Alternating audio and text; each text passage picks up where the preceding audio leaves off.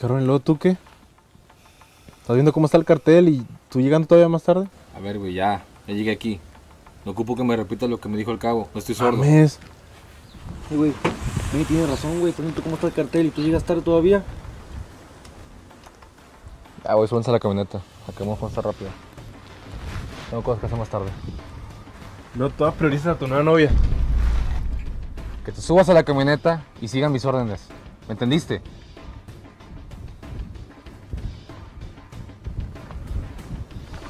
¿Qué te pasa, Néstor?